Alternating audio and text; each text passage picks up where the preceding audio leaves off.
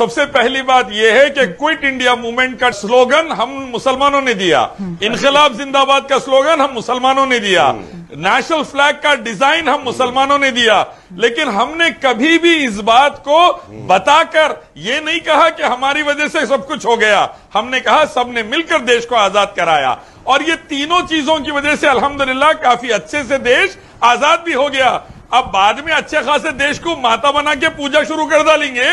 तो ये चीज़ एक कट्टर हिंदू भी देश की पूजा नहीं कर सकता मुसलमान भी नहीं कर सकता। देश को पैदा करने वाले एक इला ईश्वर की पूजा कर सकता। ये वेदा गीता कुरान हदीस का हुक्म है। ठीक है देश से मोहब्बत है। देश की इज़्ज़त है। देश के लिए ज़रूरत पड़ी तो जान लगा दिए हम। हमारे बाप भी खून बहाए हमारे दादा भी खून बहाए देश के लिए हम भी ज़रूरत पड़ी तो लगा डालेंगे लेकिन देश की पूजा नहीं कर सकते देश को पैदा करने वाले एक रब की पूजा कर सकते ठीक है, ठीक है। सारे संसार का पैदा करने वाला। सरदार पटेल जैसे लोग हैं जो देश की आज़ादी के लिए जान लगाते हैं अबू कलाम आज़ाद के साथ देश की आज़ादी के लिए खड़े थे खड़े हैं। देश को आज़ाद कराने के लिए हिंदू मेहनत करे थे मुसलमानों के साथ खान अब्दुल गफार खान मौलाना अबू कलाम आज़ाद के साथ वल्लभ भाई पटेल नेहरू गांधी और सावरकर अंग्रेज़ों के तलवे चाटकर देश से गद्दारी करा था। अंग्रेज़ों का दलाल बना था अंग्रेज़ों का एजेंट बना था। देखिए मैं एक बात कहना चाहूँगा कि आज़ादी से पहले आज़ादी के बाद खून पसीना हमारे बड़ों ने इस मुल्क को लगाया है और इंशाल्लाह लगाते रहेंगे मुल्क की भलाई के लिए। इनकलाब जिंदाबाद हम दिए नारा। क्विट इंडिया मूवमेंट हम दिए नारा। जो नारा अच्छा था वो दिए और ज़बरदस्त काम कर गया। इस्लाम रहा बल्कि देश आज़ाद हुआ। अगर हिंदुत्व रहता तो गुलाम रहते थे तुम आज भी। दे, देश आज़ाद हुआ इस्लाम की वजह से। हम कराए अल्हम्दुलिल्लाह तुम हिंदुत्व वाले हिंदू आतंकवादी रहते तो अंग्रेज़ों के गुलाम रहते थे आज भी तुम। इस्लाम था बोल के टीपू सुल्तान जा, जान दे दिए।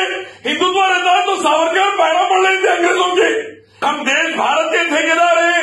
हम भारत को आज़ाद कराए जान देंगे हम भारत को आज़ाद कराए टीपू सुल्तान आज़ाद कराए। सावरकर की तरह अंग्रेज़ों की दलाली सावरकर की तरह देश को बेच दिए नहीं। हम पूरे देश के ठेकेदार हैं। हमारे बाप आर्मी ने सेना में जाके खून पसीना बहाए सेवेंटी वन की जंग में। हम पूरे देश के ठेकेदार हैं। हम भागे नहीं सावरकर की तरह। माफ़ी लेटर नहीं लिखे, सॉरी लेटर अंग्रेज़ों को। हम अंग्रेज़ों के तलवे नहीं चाहते हम जान लगा दिए। हम अंग्रेज़ों से लड़के जान दे दिए देश के लिए। हमारे बाप इंडियन आर्मी नायक के बेटे हैं हम। बॉर्डर में हमारे बाप खुद पसीना बहा दिए। और टीपू अंग्रेज़ों से लड़के जान दे दिए। इलियास शराफुद्दीन ये देश आपका है? हमारा है हमारे बाप का है हम खून पसीना लगाए संगी कोरोना की हरामियाँ बेच दे रहे देश को। अरे भाई हमारी वजह से यहाँ पे मोदी जी सुकून से रह रही हम अंग्रेज़ों से आज़ादी कराए बोल के संगी सुकून से नहीं तो संगी तो दलाल बन गए थे अंग्रेज़ के। हमारी वजह से संगी आज़ाद है आज नहीं तो संगी तो दलाल बन गए थे अंग्रेज़ के। सॉरी लेटर लिख रहा था सावरकर अंग्रेज़ों को।